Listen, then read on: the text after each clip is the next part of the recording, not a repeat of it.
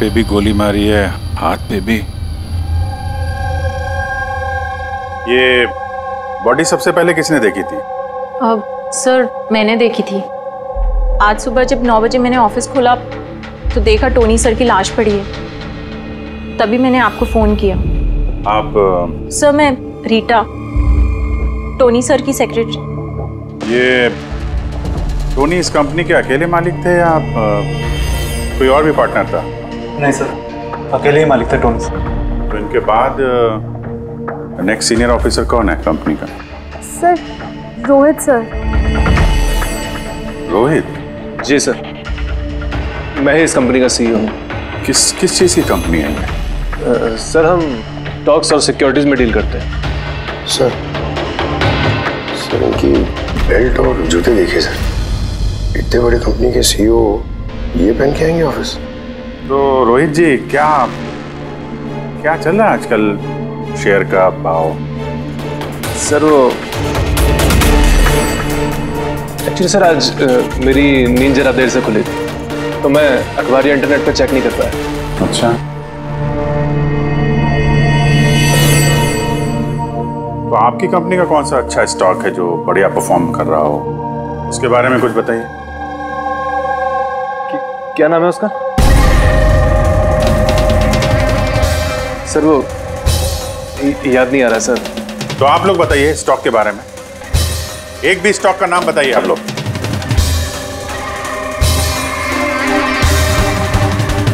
क्या हो क्या रहा है यहाँ पे हैं? सर सच में तो हम में से कोई भी यहाँ पे काम नहीं करता है। काम नहीं करता? क्या मतलब क्या है? मतलब सर सर हम सब लोग एक्टर्स हैं। मगर ये तो फाइनेंस कंपनी है। इसका फ़िल्मों से क्या लेना देना? सर फाइनेंस कंपनी तो सिर्फ़ नाम की है। यहाँ पर सर कोई काम नहीं करता। हम एक्टर को सिर्फ़ इसलिए रखा है ताकि हम यहाँ काम करने की एक्टिंग कर सके। एक्चुअली सर टोनी सर से मिलने दिन में बहुत सारे क्लाइंट्स आते थे। हमारा काम बस इतना होता था कि उन्हें दिखाना कि ऑफ़िस में बहुत काम हो रहा है। ये टोनी क्या काम करता था? किस चीज़ की मीटिंग होती थी यहाँ पे? सर उनकी जो भी मीटिंग्स होती थी वो उनके केबिन के अंदर होती थी। अब वो क्लाइंट्स के साथ क्या बातें करते थे वो हम में से किसी को नहीं पता सर और कब से चल रहा है ये सर सर पिछले दो हफ़्ते से। कमाल है। एक नकली कंपनी जहाँ पे नकली काम होता था उसके मालिक का खून हो जाता है। समझना पड़ेगा एग्जैक्टली यहाँ पे हुआ क्या था। तो यहाँ पे टोनी को पहली गोली लगी है। अगर उसे गोली यहाँ लगी है तो वहाँ उसे भाग जाना चाहिए था। वो तो एग्जिट है। वो वापस ऑफ़िस के अंदर क्यों गया? शायद खूनी इस तरफ़ होगा। बचने के लिए इधर भागा होगा। ये हैंडल पे भी खून है। वहाँ से अंदर आया और फिर और फिर वहाँ पे लेके गया, उसको जहाँ पे खून हुआ। ब्लड ट्रेल इधर भी है। सर, ये यहाँ देखिए, इतना सारा खून। लगता है यहाँ पे छुप के बैठा होगा बचने के लिए। खूनी आया उसके बाद उसको वहाँ ले गया जहाँ पे उसकी मौत हो गई। सर सर वो पानी का बॉटल सर। पानी लग रहा है सर। है तो पानी? बॉटल में खून। बॉटल हाथ में थी या उससे मारा?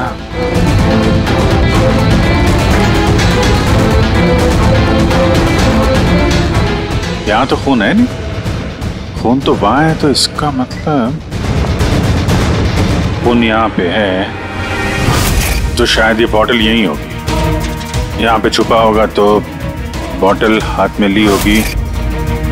बचने के लिए यहाँ वहाँ जाते समय गिर गई। यहाँ पे भी खून। वहाँ से आए तो इस पे हाथ लगा और सर। हाँ? यहाँ तो ब्लड ट्रेल है।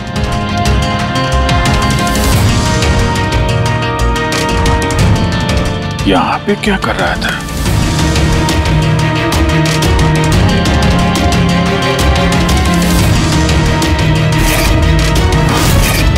यहाँ पे पंजे का निशान है यहाँ भी खून है यहाँ भी पंजे का निशान है। कुछ पकड़ रहा था या फिर अरे! क्या? ठीक हो हाँ गन छुपा के रखी है अंदर। शायद इसी को ढूँढने आया होगा। लेकिन इसके पहले गन तक पहुँचता खून ही पहुँच गया इसके। मगर सर ये ऑफ़िस में उसने गन क्यों छुपा के रखी? ऑब्वियसली उसकी जान को खतरा होगा। इतना गड़बड़ घोटाला करके रखा हुआ था यहाँ पे। एक्टर्स लोगों को हार करके रखा था। पता नहीं कितने दुश्मन होंगे इसके। ये डायरी भी।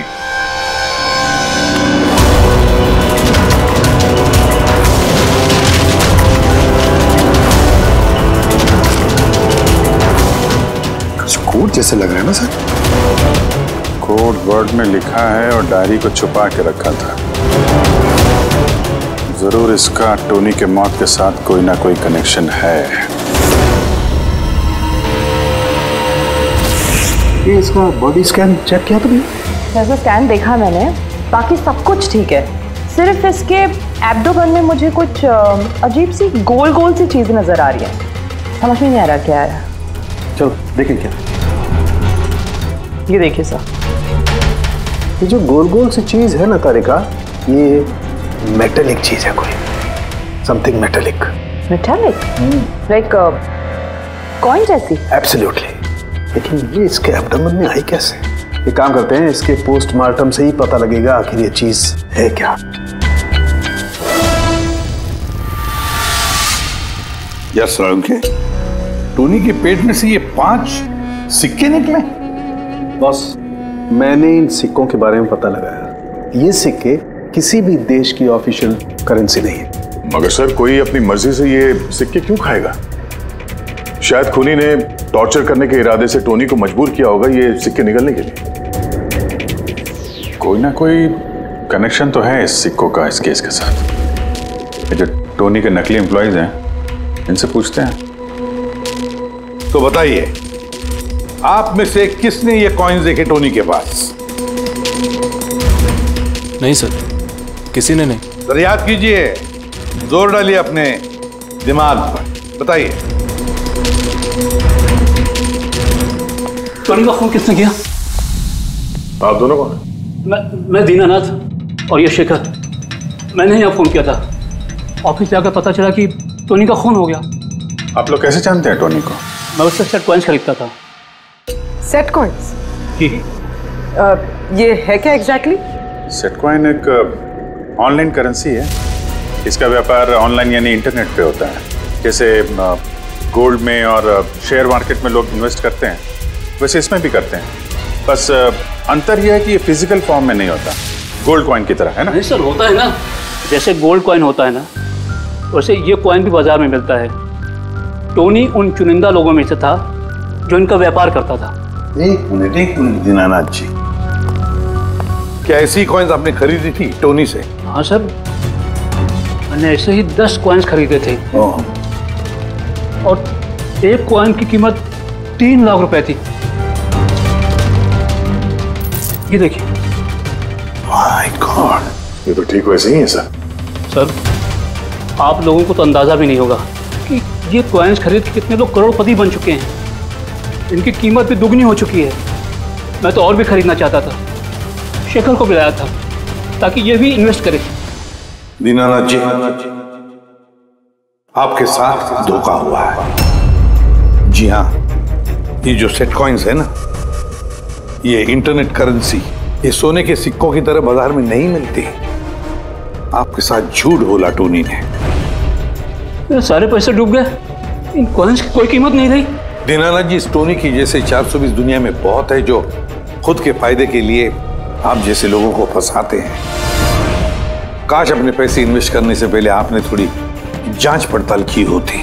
अच्छा वो मैंने पैसे इन्वेस्ट किए वरना मैं भी लूट जाता। मेरी बेटी की शादी कैसे होगी? मैंने अपनी सारी जमा पूंजी इसमें लगा दी। अपने प्रोविडेंट फंड्स के पैसे भी। सर लगता है टोनी ने जानबूझ के थोड़े ज़्यादा उम्र वालों को ही अपना निशाना बनाया है। उन्हें टेक्नोलॉजी और इंटरनेट के बारे में ज़्यादा जानकारी होती नहीं है। हाँ सर सर कहीं ऐसा तो नहीं कि जिन जिन लोगों को टोनी ने धोखा दिया है उनमें से किसी ने टोनी का खून कर दिया? हो सकता है दया बिल्कुल हो सकता है। टोनी के इस खूनी तक पहुँचने के लिए हमें पहले ये पता लगाना चाहिए कि टोनी ने कितने सारे लोगों को ये सेट कॉइन्स को लेकर फंसाया है। और फिर ये भी जानना बहुत ज़रूरी है कि टोनी के पेट में ये सेट कॉइन्स गए कैसे? सर मैंने इस टोनी का पूरा इतिहास चेक किया। उसके पास कई नकली आईडी कार्ड्स थे। उस पर अलग अलग एड्रेसेस अलग अलग फ़ोन नंबर्स सर हमें तो ये भी नहीं पता है कि टोनी उसका असली नाम है भी या नहीं। और फ़िलहाल तो हमें यह भी नहीं पता सर कि ये सारे जुर्म उसने अकेले किए हैं या कोई पार्टनर भी है उसका। यानी जो कोड क्रैक हो जाए ना वो कोड जो टोनी के ऑफ़िस वाले डायरी में मिला था बहुत सारे सवालों का जवाब मिल जाएगा। सर एक कोड क्रैक करने वाले एक्सपर्ट को हमने कांटेक्ट किया है। शायद बहुत जल्दी इसका हल निकाल लेगी वहाँ और ये जो टोनी का सारा ऑफ़िस स्टाफ आया था ये जो एक्टर्स उसके ऑफ़िस में काम कर रहे थे उनको कैसे पता चला इस टोनी के बारे में? सर एक अशोक नाम का कास्टिंग डायरेक्टर है। उसी ने ये सारे एक्टर्स भेजे थे टोनी के ऑफ़िस में। बस तो मिल लो इस अशोक से। मिल लो। सर कॉमेडी रोमांस हर इमोशन एकदम कूट कूट कर भरा है उसमें। क्या? नहीं चलेगा? अच्छा ठीक है सर मुझे थोड़ा टाइम दीजिए मैं मैं भी भेजता हूँ। ठीक ठीक ठीक है सर ठीक है। अरे अशोक जी मेरी फ़ोटो भेज दीजिए ना। एक्शन कॉमेडी रोमांस सब में नंबर वन हूँ मैं। देखो भाई तुम हीरो तो बन नहीं सकते। एक कॉमेडियन का रोल है। करोगे? कॉमेडी। और हाँ तुम्हारे चेहरे में मुझे एक कशिश दिखती है। एक आर्ट फ़िल्म के लिए मेरी बात चल रही है। तुम एक काम करो एक ऑडिशन दे दो उसके लिए। अच्छा। क्या रोल रोल रोल क्या है? रोल एक पुलिस वाले का है। अरे ये तो मेरे बाएँ हाथ का खेल है। पुलिस वाले का रोल करने का तो बड़ा एक्सपीरियंस है मुझे। एक्सपीरियंस है। पुलिस वाले के रोल का। अरे रोज ही पुलिस वाले का रोल करते हैं। आप ये देखिए। ये। सीआईडी असली है क्या? असली है। और जिस जेल में तुझे लेके जाएँगे ना वो भी असली है। जेल? अब बजी दिमाग की घंटी। नहीं कौन है कौन है ये? है? इसको एक्टर सप्लाई किए थे ना तूने? ऑफ़िस में काम करने की एक्टिंग करने के लिए। भूल गया तू? सर आपको ज़रूर कोई गलत फहमी हुई है। देख सीआईडी के सामने एक्टिंग करेगा ना तो बहुत भारी पड़ेगा तुझे। यही ग्यारह एक्टर भेजे थे ना तुमने टोनी के पास? हाँ याद आया भेजा था मैंने। लेकिन सर काम करने की एक्टिंग के लिए नहीं भेजे थे बल्कि टोनी ने मुझसे ये कहा था कि वो एक शॉर्ट फ़िल्म बना रहा है और उसको कुछ स्ट्रगलिंग एक्टर चाहिए। जो एक्टर तूने भेजे थे ना उसका इस्तेमाल करके उसने बहुत बड़े घपले किए हैं। सर ये बात मुझे कैसे पता चलेगी? सर पूरे बारह में से किसी भी एक्टर ने मुझसे मुझे ये बात नहीं बताई सर। बारह? सर उसकी ऑफ़िस में तो ग्यारह लोग थे। ये बारवा कहाँ से आ गया? अच्छा। वो जो एक्टर भेजे थे उनकी लिस्ट दिखाना जरा। जी जी सर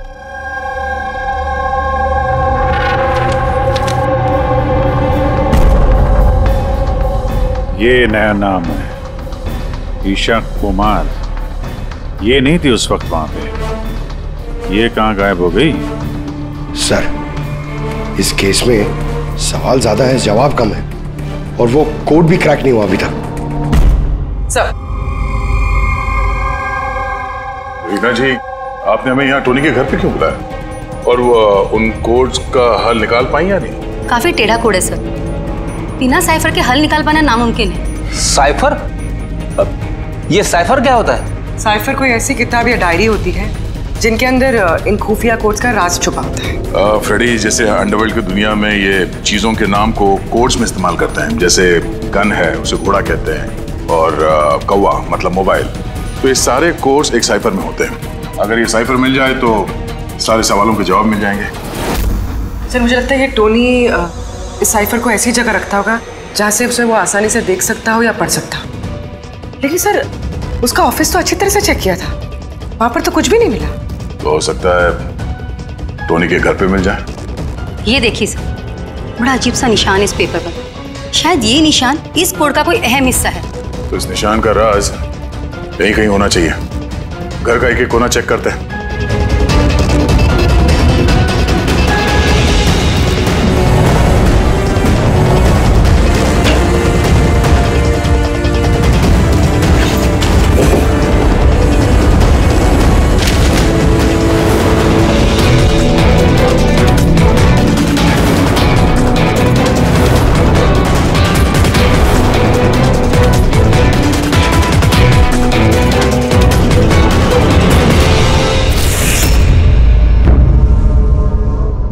जी ये देखिए। इस किताब में भी ठीक, वैसा ही निशान है।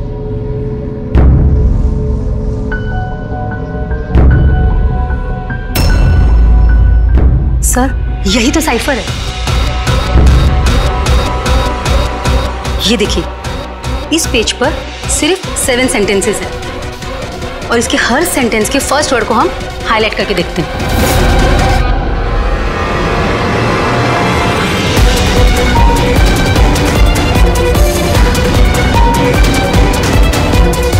ये सीजर का क्या होता है? जूलियस सीजर का नाम तो सुना होगा ना? हाँ। लगता है उसके जमाने का कोई पुराना कोड है। तो यहाँ ये सीजर के आगे जी भी तो है।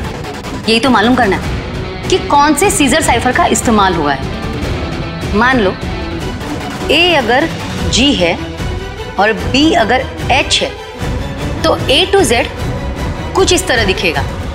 ये देखिए।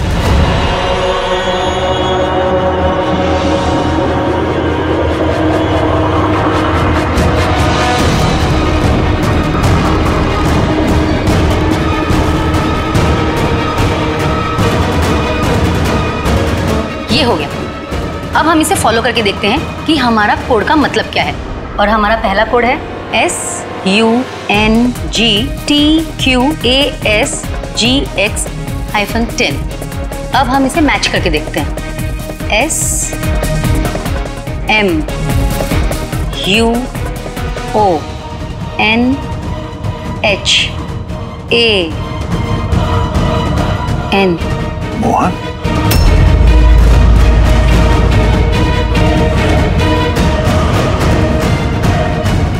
आपके पहले कोड का मतलब है मोहन कुमार टेन। सर इस मोहन कुमार नाम का तो कोई आदमी है ही नहीं इस केस में। अगर है ना तो ढूंढना पड़ेगा। ये बाकी के सारे जो कोड हैं उनको भी डिकोड करते हैं। प्लीज़ कुणाल तुम समझने की कोशिश करो। मैं पंकज से बहुत प्यार करती हूँ।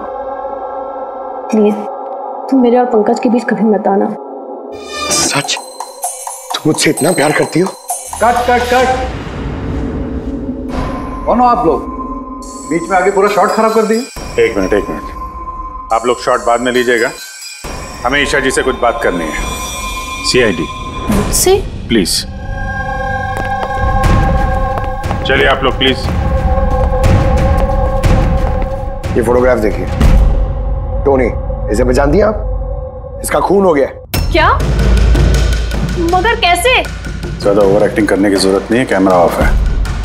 तुम बताओ कैसे खून हुआ इसका? मैं मैं कैसे बता सकती हूँ आपको इसका कैसे हुआ? जिस वक्त इसका खून हुआ सारे नकली एम्प्लॉय उसके ऑफ़िस में थे। सिवाय तुम्हारे कहाँ थी तुम? नकली एम्प्लॉय कौन से नकली एम्प्लॉय सर ये, ये ये आप लोग क्या बात कर रहे हैं? मुझे तो कुछ समझ में नहीं आ रहा। स्टोनी ने तुम लोगों को हायर किया था ना? उसके ऑफ़िस में क्लर्क की एक्टिंग करने के लिए? उसने तो मुझे अपनी मंगेतर का रोल प्ले करने के लिए पैसे दिए थे। वो भी बस एक दिन के लिए। मंगेतर का? हाँ सर। उसके माँ बाबू जी आए थे उससे मिलने और वो उन्हें दिखाना चाहता था कि वो शादी करने वाला है और वो अपनी ज़िंदगी में बहुत खुश है। उसने तुमको तो बताया होगा ना अपने माँ बाप के बारे में सारी इन्फॉर्मेशन दी होगी। जी हाँ बहुत कुछ बताया था ताकि कुछ गड़बड़ ना हो जाए। और मुझे याद रहे कब कौन से डायलॉग बोलने हैं। उसके माँ बाप के बारे में जितनी भी इंफॉर्मेशन है तुम्हारे पास एक एक चीज़ सब हमें बताओ। Thank you sir sir codes decode हो गए हर कोड से एक नाम मिला है और नाम के आगे एक नंबर ज़रूर ये वो लोग हैं जिनको टोनी ने सेट कॉइन्स बेचे थे। और ये नाम के आगे जो नंबर है इसका मतलब है किसके पास कितने सेट कॉइन्स हैं। जैसे ये मोहन। मोहन ने ये दस सेट कॉइन्स खरीदे थे। चिराग छः विजय कुमार आठ एक्सेट्रा एक्सेट्रा तो मतलब खूनी इनमें से ही कोई एक है? लगता तो ऐसे ही है। इन सारे बारातियों को ब्यूरो में बुलाओ सेट कॉइन्स के साथ। सर मैंने टोनी को नहीं मारा। आपने मुझे बताया तब तो मुझे पता चला कि टोनी का मर्डर हो गया। कल रात तुम कहाँ थे? कल रात मेरे सर में दर्द था तो मैं कल रात दस बजे ही सो गया था सर। अच्छा। और कौन है आपके घर में? मेरे घर में बस मैं हूँ सर और मेरा एक बेटा है जो विदेश में नौकरी करता है। मैंने तो अपने रिटायरमेंट फंड के पंद्रह लाख लगाए थे इसमें। अब मुझे ये समझ में नहीं आ रहा है ये मुझे कैसे वापस मिलेंगे। गन रखते हो ना तुम?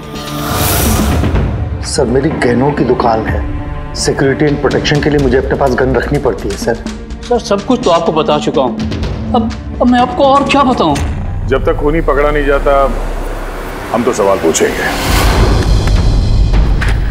इस डायरी में उन लोगों के नाम लिखे हुए हैं जिन्होंने उससे वो कॉइन्स खरीदी थी सेट कॉइन उन लोगों के नाम और जितने भी कॉइन्स खरीदे थे वो सब पूरा का पूरा रिकॉर्ड इसमें है।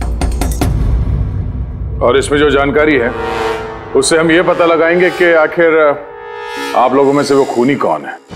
किसने कितने कॉइन खरीदे? इससे ये कैसे पता चलेगा कि खूनी कौन है? आसान है। खूनी ने अपने कुछ सिक्के गुस्से में आकर टोनी को निगलवा दिए। अब इस बही खाते के हिसाब से जिसके पास भी कम सिक्के निकलेंगे वही हमारा खूनी है। चलिए आप सब लोग अपने अपने सेट कॉइन्स के सिक्के गिनती करवाइए।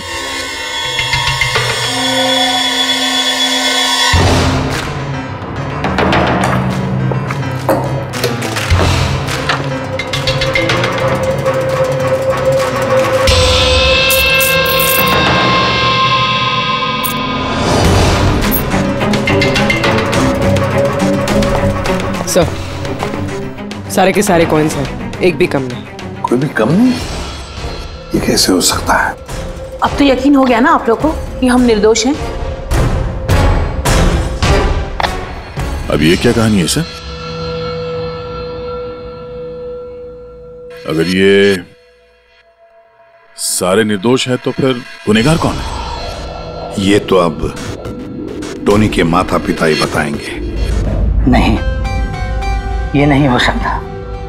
हमारा बेटा नहीं मर सकता सर। आपको ज़रूर कोई गलत फहमी हुई है। हमारा बेटा तो अपने ईमान का इतना पक्का था कि वो किसी का एक रुपया भी ना ले। और आप कह रहे उसने लोगों को ठगाया मैं जानता हूँ ये किसी भी माँ बाप के लिए सुनना आसान नहीं है। पर क्या टोनी की किसी के साथ कोई दुश्मनी थी? हाल फ़िलहाल में कोई कोई लड़ाई झगड़ा हुआ हो। कैसा झगड़ा सर? वो तो इतना बिज़ी रहता था कि उसे हमसे मिलने का भी समय नहीं होता था। तीन तीन चार चार महीने बाद घर आता था वो। मिलने नहीं आता था? मतलब? मतलब कि उसने कई जगह पर अपने ऑफ़िस खोल रखी थी। कहाँ? और कहाँ पे ऑफ़िस था इसका? दिल्ली पुणे। जिस जिस शहर में ये टोनी रहा है कुछ ना कुछ घपला तो ज़रूर किया होगा उसने। कुंडली निकालो इसके पिछली ज़िंदगी की। सर सर दिल्ली और पुणे के police officers video conference call पे। गुड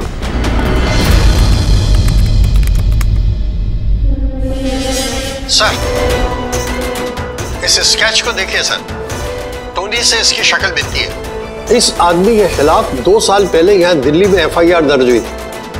कई लोगों के साथ में चिट फंड में इसने घोटाला किया था। लेकिन सर इसका नाम टोनी नहीं बल्कि अमर है। सर यहाँ पर उसका नाम प्रशांत था। पिरामिड स्कीम के नाम पर उसने लोगों को बड़े बड़े सपने दिखाए और कई लोगों के पैसे खा गए बहुत लोगों ने उसके खिलाफ कंप्लेंट भी दर्ज की है। सारे शहरों में यही कारनामा किया सर इसने। एक शहर से बेमानी का पैसा इकट्ठा करके दूसरे शहर को रवाना हो गया। किसी और को टोपी पहनाने। इसका मतलब दया इस टोनी के दुश्मन सिर्फ़ इसी शहर में नहीं बाकी शहरों में भी हैं। तो खूनी खूनी में से कोई हो सकता है। मतलब सर हर शहर से ऐसे लोगों की लिस्ट निकालनी पड़ेगी जिनके साथ धोखा हुआ है। सर यहाँ पर उसके खिलाफ कल्पेबल होमिसाइड की केस भी है। ये आलोक नाम के आदमी के उसने पैसे खा लिए थे। वो सदमा वो आदमी बर्दाश्त नहीं कर पाया इसलिए उसने सुसाइड किया। तो, तो टोनी को मारने का सबसे बड़ा मोटिव तो आलोक के किसी करीबी के पास है। ना तो उसने सिर्फ़ पैसा खोया, बल्कि अपने किसी करीबी को भी खोया है। हाँ। आलोक, पुणे।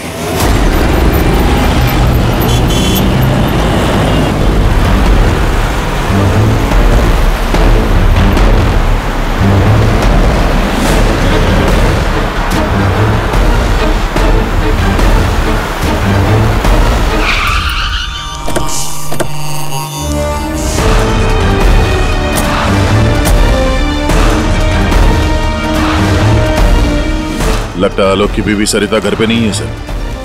हाँ आज सुबह से नहीं है। आज का पेपर और दूध पंकज। सर। जाके जरा पड़ोसियों से पूछताछ करो।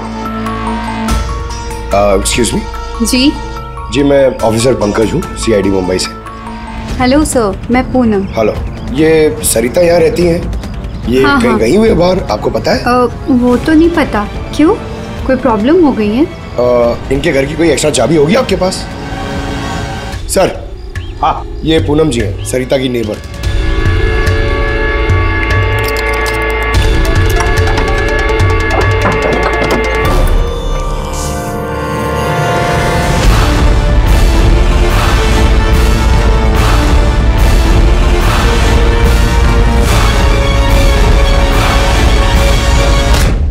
जिस तरह से घर के अंदर ये सामान बिखरा पड़ा है ऐसा लगता है कि कल रात यहाँ पे कुछ हुआ था।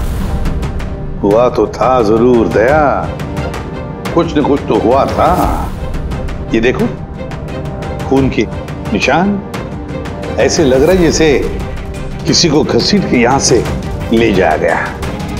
सर कहीं किसी ने सरिता का किडनैप तो नहीं कर लिया? पूनम? हाँ सर। सरिता को आखिरी बार कब देखा था तुमने? ओ, ओ, सर रात के दो बजे। जब मैं नाइट शिफ्ट से घर वापस आई। उस वक्त शायद सरिता जाग ही रही थी क्योंकि यहाँ पे टीवी चल रहा था। उसके घर के आसपास किसी को देखा कोई आया हो उनसे मिलने के लिए? उम, कुछ और तो नहीं पर हाँ एक वाइट कलर की वैन थी जो घर के बाहर खड़ी थी पर सुबह वो वहाँ नहीं थी। तू उस वैन को पहले भी कभी देखा था यहाँ आसपास? नहीं कभी नहीं। अच्छा उसका नंबर याद है? नोट किया था? नंबर तो नहीं नोट किया मैंने ध्यान नहीं दिया। अच्छा तुमने कुछ शोर शराबा या झगड़ा वगैरह सुना उस वक्त? हाँ आवाज़ें तो आ रही थी ज़ोर ज़ोर से पर मुझे लगा कि शायद सरिता जाग रही है टीवी देख रही है तो मैंने उतना ध्यान नहीं दिया। अच्छा पूनम ये जो तुमने लड़ाई झगड़े की आवाज़ें सुनी कितने बजे थे? यही करीब तीन बज रहे होंगे। तीन बजे? तो सरिता का किडनैपिंग तीन बजे हुआ था। तो डेफिनेटली ये सरिता का किडनैपिंग और टोनी का मर्डर इन दोनों का आपस में कोई ना कोई कनेक्शन है sir hundred percent Daya. Connection hundred percent है पर इससे पहले कि सरिता को कुछ हो जाए उसे हमें बचाना होगा। और पंकज? सर ये व्हाइट वैन सफ़ेद वैन जो पूनम ने अभी अभी बताया उस वैन की पूरी पूरी इंफॉर्मेशन चाहिए हमें पूरी की पूरी इंफॉर्मेशन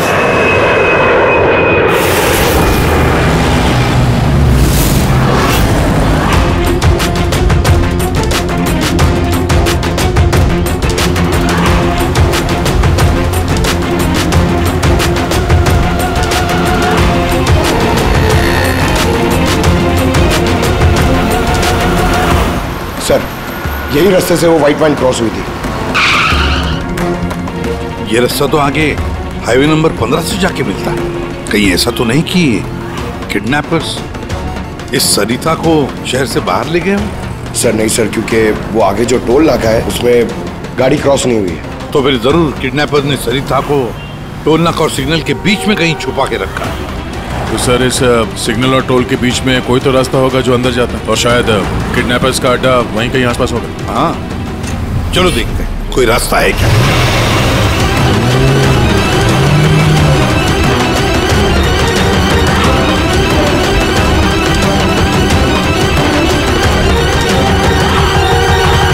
सर ये एक रास्ता है जो अंदर जाता है। चलो चलो देखते हैं।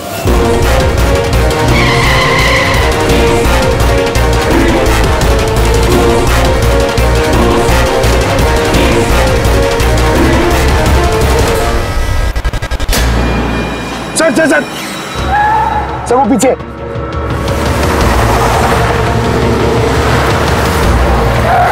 ये देखिए, सर।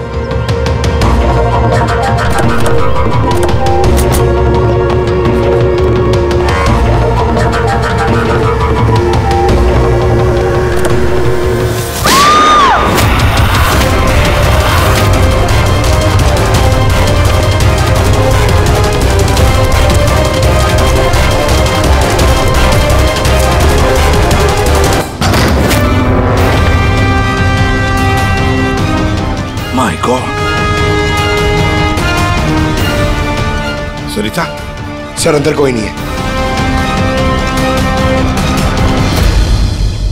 देखो सर लगता है खूनी गाड़ी लेके बाहर मैं देखता हूँ सर सर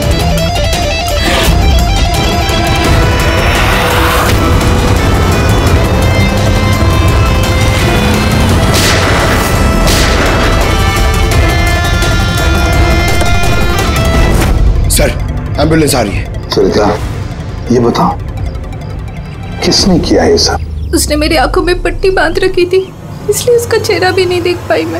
नहीं सर निकल गया। गाड़ी का टायर पंचर करके गया वो। सरिता बताओ क्यों किया होगा ये सब उसने? सर उसको उसको मेरे पति आलोक का फाइनेंशियल रिकॉर्ड चाहिए था। पता नहीं क्यों। पर तुम्हारे पति आलोक अब इस दुनिया में नहीं रहे ना? हाँ सर। उन्होंने आत्महत्या कर ली थी। क्योंकि किसी फ्रॉड ने उन्हें धोखे से लाखों रुपए लूट लिए पर वो पैसे भी उनके नहीं थे सर।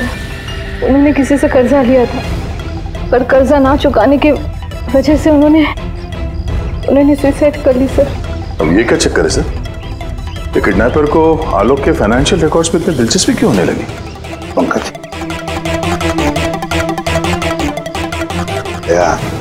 इस किडनैपर को दिलचस्पी इसलिए कि मुझे तो लगता है कि ये किडनैपर ये खूनी भी वही है जिसने आलोक को पैसे दिए थे। अब जैसे उसे पता चला कि आलोक इस दुनिया में नहीं रहा तो प्रॉब्लम आया पैसे वसूल किससे करे? उसे पता चला कि आलोक का सारा पैसा टोनी के पास है तो उसने टोनी को खत्म कर दिया। और फिर खुद पर इल्ज़ाम ना आए, सारे सबूत मिटाने के लिए उसने सरिता को फ़ोन किया। और उसे पूछा कि आलोक का सारा फाइनेंशियल रिकॉर्ड कहाँ पर है?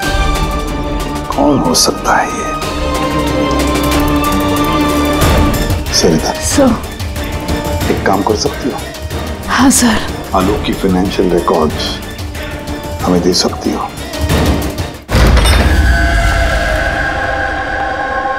माय गॉड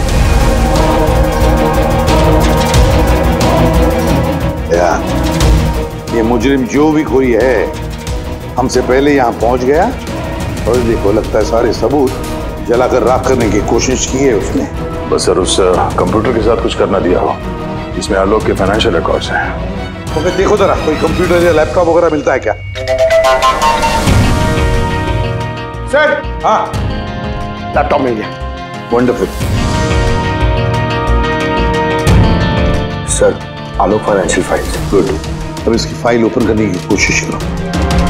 ज़रूर उसमें उसके कर्जदारों की लिस्ट मिलेगी हमें। खुल गया सर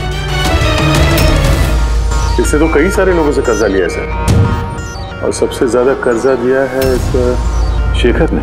शेखर? है कहीं वही शेखर तो नहीं जो दीनानाथ के साथ हमसे मिलने आया था। मैं दीनानाथ ये शेखर। हाँ सर वही है।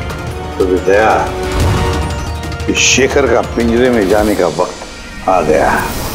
वो सफ़ेद वैन तो मिल गई सर पर शेखर का अभी तक कुछ पता नहीं चल पाया। सर शेखर भले ही खून करके भाग गया हो लेकिन ज़्यादा दूर नहीं जा पाएगा। फिर भी कुछ ना कुछ तो गड़बड़ ज़रूर है। इस केस में पता नहीं क्यों लेकिन सही नहीं लग रहा है मुझे।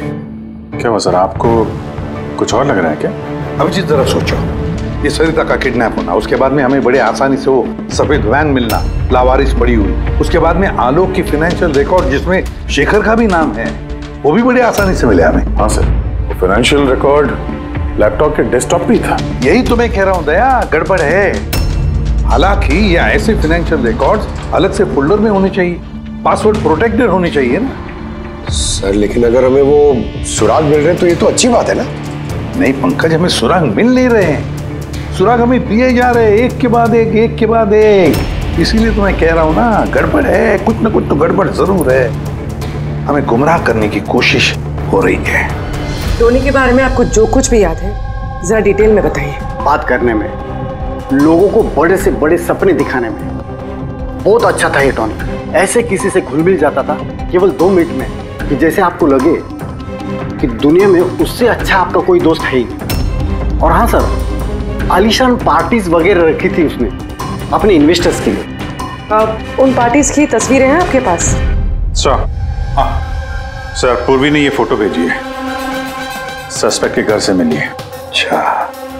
तो ये है वो इस पूरे खेल के पीछे। मतलब शेखर भी इसी के कब्जे में होगा सर इसका फ़ोन ट्रैक करो। शेखर की जान को खतरा है। शेखर को बचाना होगा।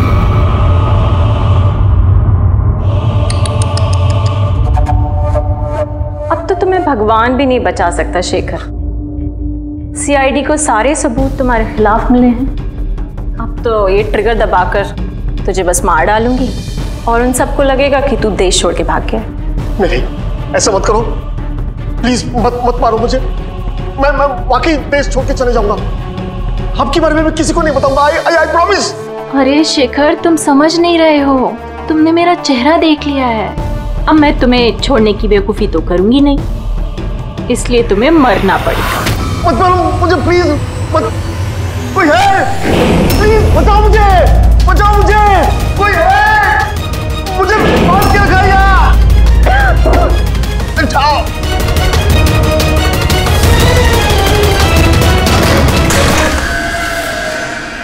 उठ उठ।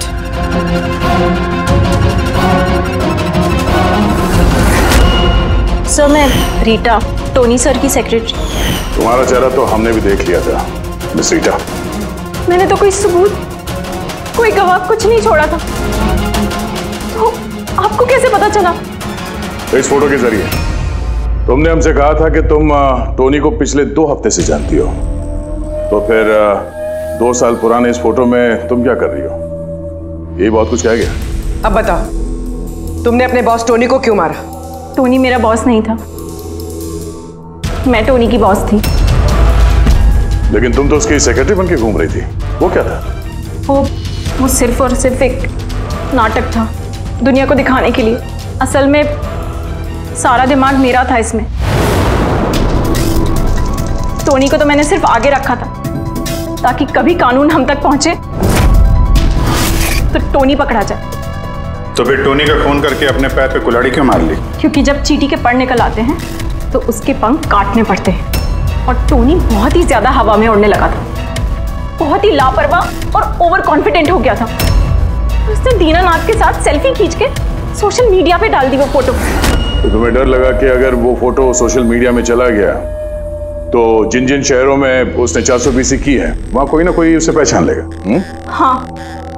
और उसके पेट में जो सिक्के थे वो? वो सिक्के मैंने ही उसे निकलवाए थे।